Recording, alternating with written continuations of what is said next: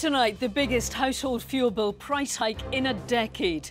Campaigners say the move will leave thousands with the choice heat or eat. We've got a lot that we could probably spend that on, to be fair. That's disgusting, really. Like, I don't know how they get away with it.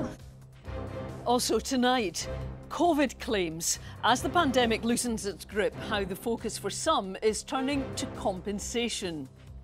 Over the last six months and longer, more and more people have reached out to us, people who have lost loved ones.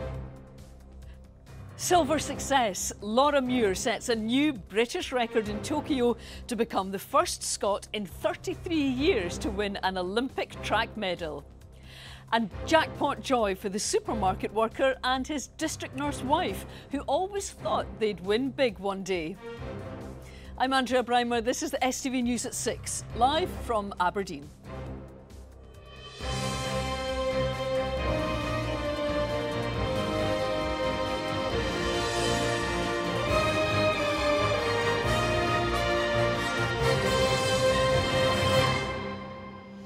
Good evening. It's the most significant increase to the price in household fuel bills for a decade. Today, the energy watchdog Ofgem confirmed the cost for gas and electricity will rise yearly by around £139 per household. Ofgem say the increase is due to the wholesale price of fuel. But campaigners argue the move will leave thousands with the choice heat or eat. Here's Brandon Cook life is going to get a bit tougher for thousands of households across Scotland. Switching on the lights, firing up the hob, and turning up the heating. Trivial things that many take for granted, but are bank breaking decisions for others. Today's announcement is a sharp price increase for those on standard meters, even more for prepaid. The wholesale cost of fuel is up by 50% in recent months. The regulator Ofgem says they have no choice. The announcement we're making today is made because we've seen record fossil fuel prices, not just in electricity and gas, but also in petrol and diesel. And what the price cap does is it says to customers, you do need to pay a fair price, but no more than that. The cap on energy costs was first introduced two years ago to protect people from sudden price hikes. It's reviewed every six months and adjusted to suit a range of different factors, including the value of wholesale fuel. For the average household, the first price limit was around £1,100. That rose six months later, but the next year and a half saw consecutive price drops as the price of gas and electricity fell due to the pandemic. In April this year, prices were back up to a level even higher than the original cap. Now this, extra increases takes prices through a threshold not seen for over a decade. Five cities in Scotland are worst hit by fuel poverty in the UK. Despite being oil capital of Europe, Aberdeen is one of them. What do you actually choose? Do you choose to heat? Do you choose to clothe or feed or whatever? Because there's only so many pounds in everybody's pocket. That's very cruel and I think that's very unfair when people really need it more than ever at the moment. Nappies and baby food and that. Yeah, like, like we've got a lot so, yeah. that we could probably spend that on. To be fair, that's disgusting, really. Like, I don't know how they get away with it. I'm just your average Joe, you know what I mean? I make a, a minimum wage, pay so much a month and I'm literally left with buttons at the end of the month. You know, it's one thing it hits your pockets, but the stress that that causes for families. Those working on the front line say it will push thousands further into fuel poverty. It feels like a perfect storm for families, especially as we come into times where furlough comes to an end, we're moving out of a pandemic. The, their bill could go up by £139 per year. That will obviously have a huge impact for many households in Scotland. Advice bureaus are asking people to seek help if they're stuck it's really, really important that we get the message out there that in Scotland, particularly, there is some good news and that there is a lot of help available um, to help households who are struggling with fuel bills. And we would really urge them to contact us. This is an increase to the cap on default tariffs. So, not being on one of those tariffs is probably the best thing that you can do to avoid the increase. And that, that might mean looking at different fixed tariffs that suppliers in the market are offering and thinking about making a switch the price cap is due to begin on October the 1st. Brandon Cook, STV News.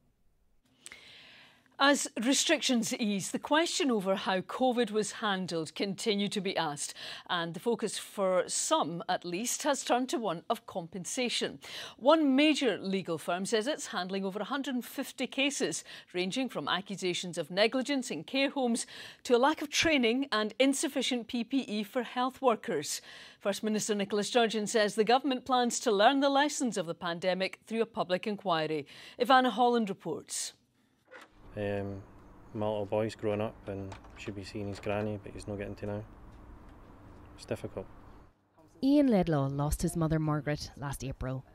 As a vascular dementia sufferer, she was at high risk from coronavirus. She was moved to a care home where she caught COVID and died in the space of two weeks. Ian and his family think the care home were negligent and are now taking legal action. It's just a sense that there's more than one party who's at fault for like the ultimate outcome, and we feel like um, these parties should be held accountable and admit their liability for what happened. Robert Gold says he's been left feeling angry as he feels his dad William died in a care home too soon. He's also seeking redress. I know it sounds a bit cliche, but I really want justice. You know, you know for not to put too fine a point on it, the, the, the lack of strong management procedures being followed led to the direct death of my dad. So, you know, it doesn't matter whether he's 89 or 49 or 69, he, he was taken away um, wrongly simply because people didn't do their job.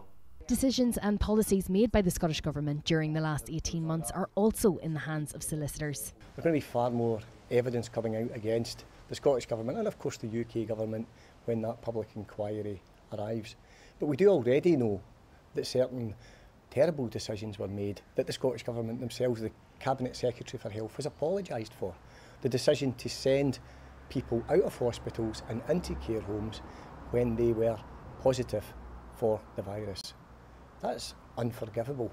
And that's one of the primary bases upon which we are looking to see what legal avenues can be pursued against the Scottish Government. The First Minister says the actions of her government will be reviewed in a public inquiry. I'm not going to comment on any potential legal action. It would be completely inappropriate for me to do that. Any individual, of course, has uh, the right to consider whether uh, their rights have been in any way breached so that they think legal action might be appropriate and people will take their own legal advice. The date for a UK wide public inquiry into the handling of coronavirus has been set by the Prime Minister for next spring. Ivana Holland, STV News. A train strike is looming after pay talks between ScotRail and unions collapsed. Negotiations about pay, working conditions and redundancies have ended acrimoniously, with industrial action now expected from early September. The ScotRail franchise is currently operated by Dutch firm Abellio. It'll be nationalised in March and run by the government. Funding for projects to reduce emissions in the North Sea has been announced by the Scottish Government. £16.5 million will be provided for seven energy schemes led by the Net Zero Technology Centre. The cash will be matched by the oil and gas industries. Projects include the production of low carbon hydrogen. There is disturbing evidence of the worsening impact of plastic pollution on seabirds across Scotland. The much loved puffin is the most affected, with a risk to them becoming entangled or even ingesting plastic. With more, here's Ian Ramage. It's little surprise plastic debris has been found in thousands of seabirds' nests across northwest Europe, posing a serious threat to wildlife. It's most prevalent in those of puffins. The extent's been unearthed in a four-year study by the Environmental Research Institute in Thurso. Its findings could prove vital. The neat aspect about seabirds is that they can be used as a sentinel species, so an indicator of, of, of the impact of different types of pollution, for example. It's been suggested that some of these species um, uh, could be used to uh, help identify uh, the, tr- the long-term trends in plastics in the environment and give us a kind of heads up Uh, on how the environment is being impacted. Information was collected from 14 species in 84 colonies. Of those, 12% contained plastic, 67% of puffin nests featured plastic. A campaigner on the north coast, familiar with the problem, has collected more than a tonne of plastic each year from one beach alone, Balnakeil in Sutherland. this plastic has been there for a long time, so it's people are changing their ways now, but we're still there's still a lot in the ocean. So what we're picking up could be from you know could be from now, could be from five years ago, could be from ten years ago. And um, the thing that's really daunting is that it, it just doesn't stop. So we've been doing it for five years and we haven't seen like a reduction. Similar voluntary cleanups go on around our coast throughout the year. The academic team behind the latest research says substantial interventions are needed to tackle the issue, or we'll lose entire seabird species. Ian Ramage, STV News. An independent review on how fish farms are regulated is underway. It'll look at what improvements can be made to the environmental, economic and community aspects of aquaculture. Environmental groups have criticised work practices. The sector is worth over £800 million to the Scottish economy. Now, many high streets across Scotland are struggling under the challenges of the pandemic and more people shopping online. But a community group in Orkney have come up with a novel way to bring people back into Kirkwall by installing an urban beach. Anne Smith has more. Who needs the Costa del Sol when you have the Costa del Kirkwall? This urban beach has been set up with two things in mind. It's very important. We have got a brilliant high street and we need to keep supporting the local businesses, trying to get younger generations to understand the importance of shopping, shopping in the local economy so that we can um, support businesses going forward and keep this fantastic town centre that we have.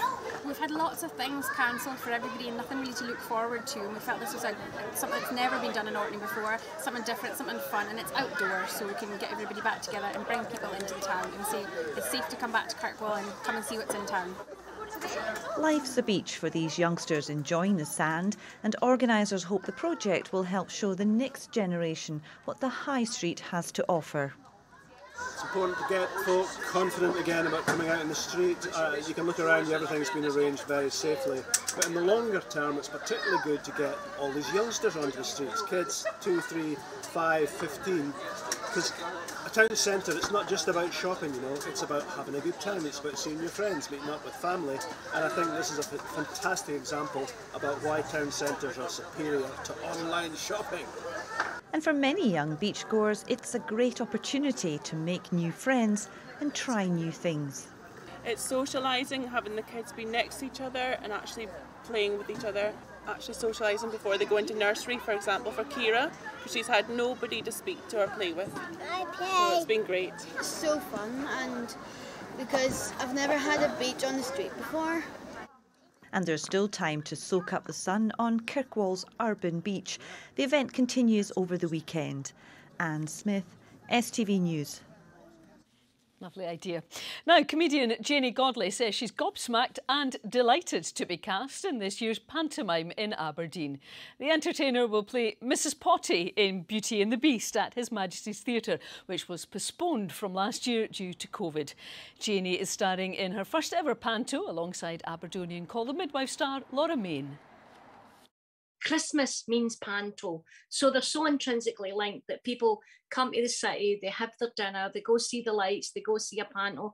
And it's so much part of that festive season that I think that's what makes it so special. Christmas isn't Christmas unless you've saw a woman with a big dress having a shout at the wains. Now, Aberdeen is the star of a new music video which hopes to encourage more people to visit the city. Within Hindsight is the latest single from Aberdeenshire musician Colin Klein. The reflective song is a story of remembrance and loss and showcases some of the Granite City's most iconic sites. Hayley Balmer has more. Within hindsight.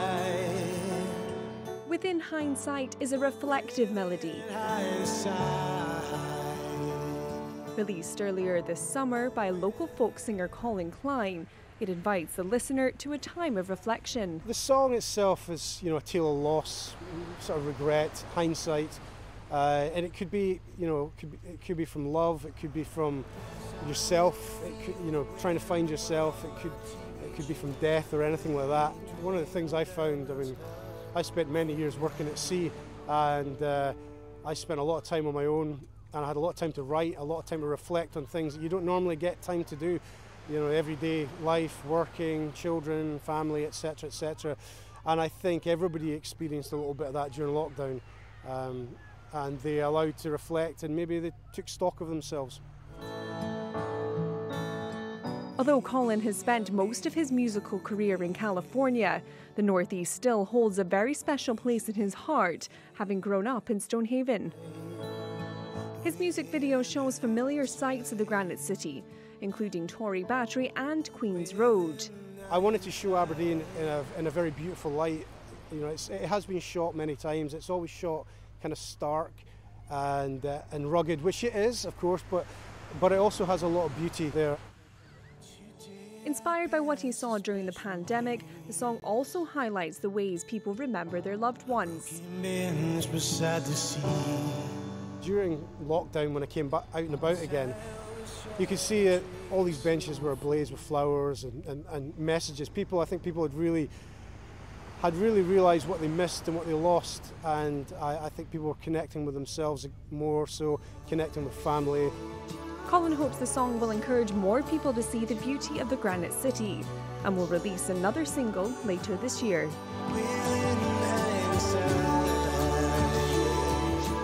Hayley Bomma, STV News. And Hayley's report takes us to sport. There's some big wins to report on tonight. Here's Chris.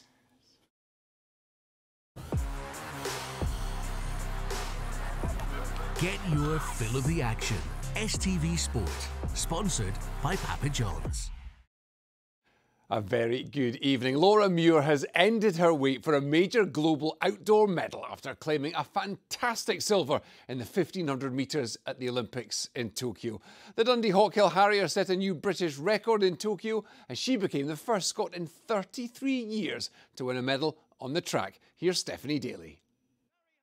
And here comes Laura Muir, chasing her home. She's gone past Sifan Hassan. Laura Muir had the young athletes at her club back home, Dundee Hawkhill Harriers, on the edge of their seats as they cheered home one of their own. Laura Muir gets the silver for Great Britain.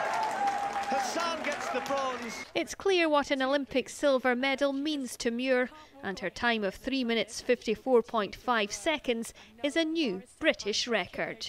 Oh wow, it's just great. Just she just came second and beat Hassan, and she's like a champion basically. And oh, I'm just so proud of her, and she's such a big inspiration because like you know she could have been one of us sitting here watching somebody else in the Olympics, and you know any one of us could be there, you know, in a number of years' time. She was once in my club wearing one of these vests, and I could maybe be like her one day. She's a massive inspiration here. She's left her mark in the small club of Dundee, and it's just it's just really inspirational how she can just go out there on the world stage and show what she's capable of. Inspires me to at least keep going. Um, otherwise, I wouldn't have got to where I am with my running.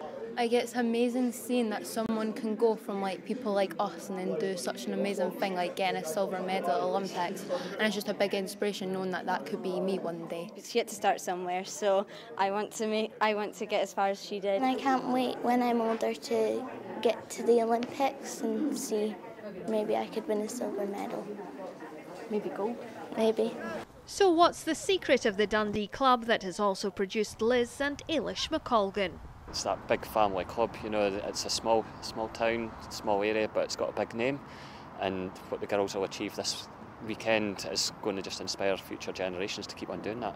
Well, these athletes don't have to look any further than their own club for inspiration, and they'll be cheering on another one of their own when Eilish McColgan takes to the 10,000 metres in Tokyo tomorrow.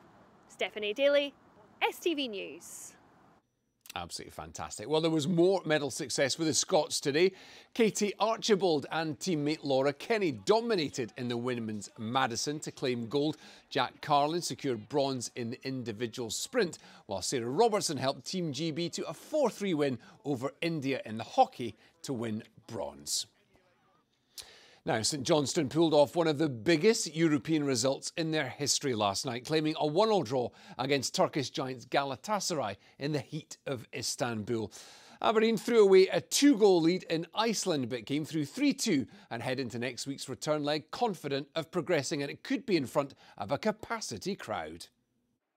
With the temperature still high in the 30s, St Johnstone were nearly caught cold at the start of their Europa League clash with Galatasaray.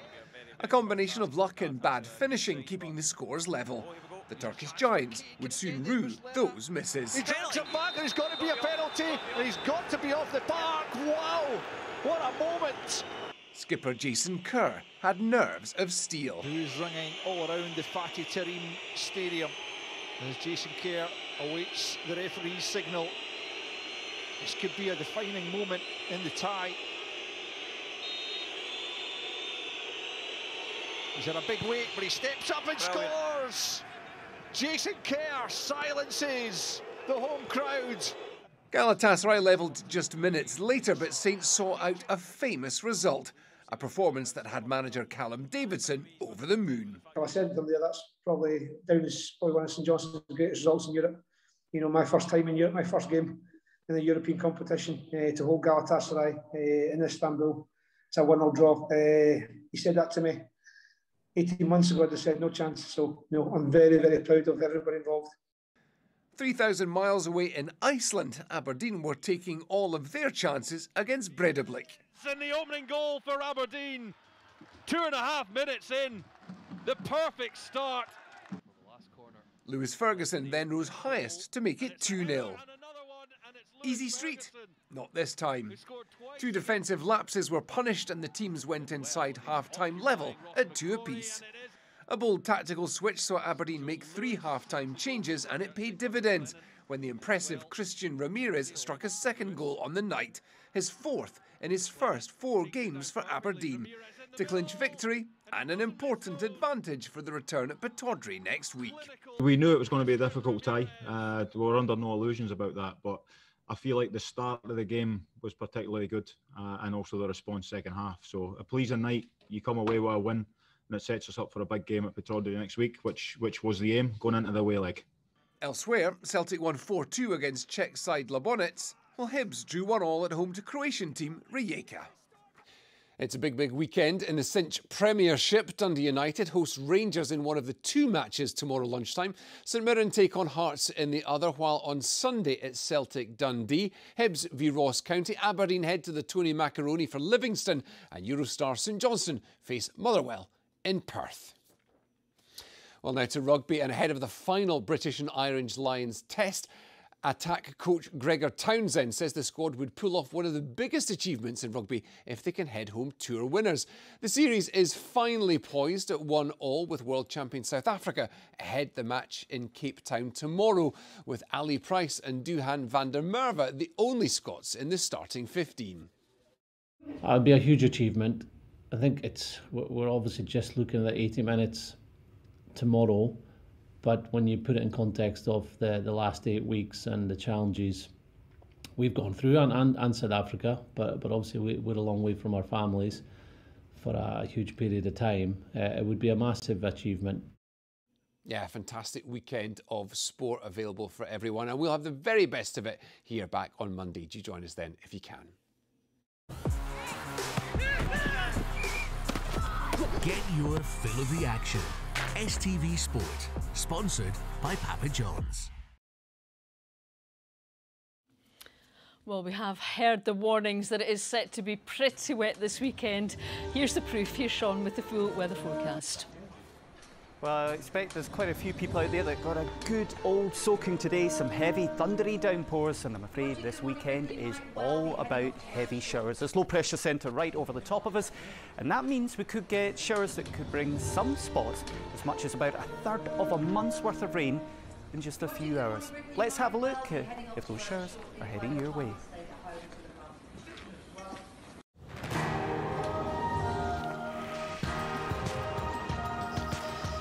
Blue skies and sunshine are in the forecast.